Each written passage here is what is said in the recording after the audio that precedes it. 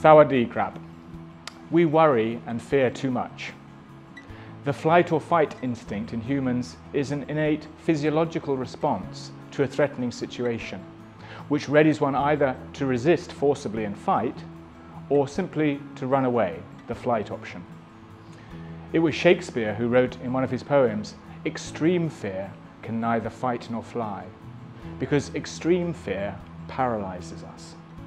Fear has the capability to stop us in our tracks and take away our ability to deal with the situation. There are two main categories of fear fear of the unknown and fear of failure. Fear of the unknown manifests itself starting a new school, a new job, your first year at university. You find yourself worrying unnecessarily, worrying about the what ifs, not knowing what the future holds and whether you're going to be all right whether you're going to fit in. It is always far worse than the reality. But moving out of our comfort zone takes us into unknown territory.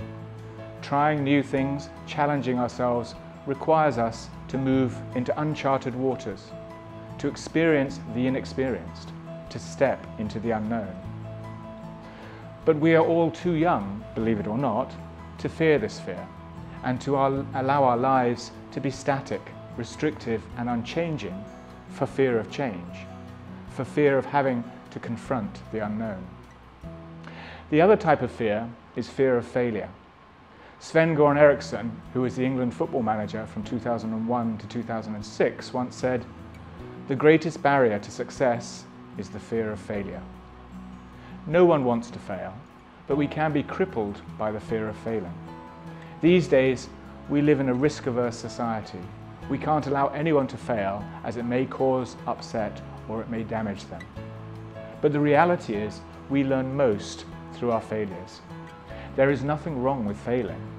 There is an awful lot wrong with not trying for fear of failing.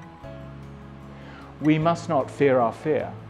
We must use it to inform and spur us on to try again, to come back fighting, and to push ourselves harder. It was Mahatma Gandhi who summed it up so well. My imperfections and failures are as much a blessing from God as my successes and my talents, and I lay them both at His feet. Have a lovely weekend, Kopkum.